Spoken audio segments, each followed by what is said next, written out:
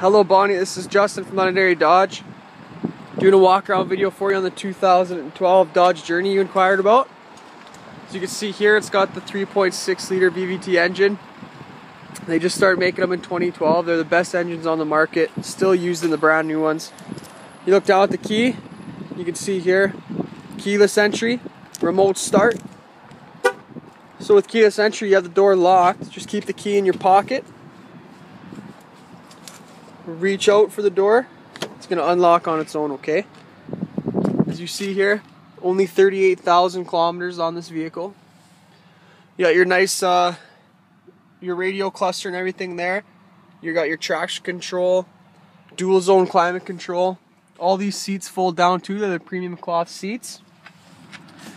Power windows, power locks, beautiful power mirrors, everything, okay? We'll get a good look at this vehicle. Black, nice rims. There you go, you have your dual exhaust. I know you're thinking about coming down this weekend. Um, this is this journey's parked right out on the front of the lot.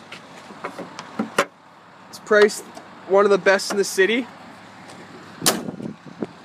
So this this this journey will definitely be gone by the end of the weekend. So uh, hurry down here, and then uh, I'm glad to show it to you. And if I got other ones too, not as nice as this one, but if maybe you don't like the color or something, we'll definitely find you something that you love.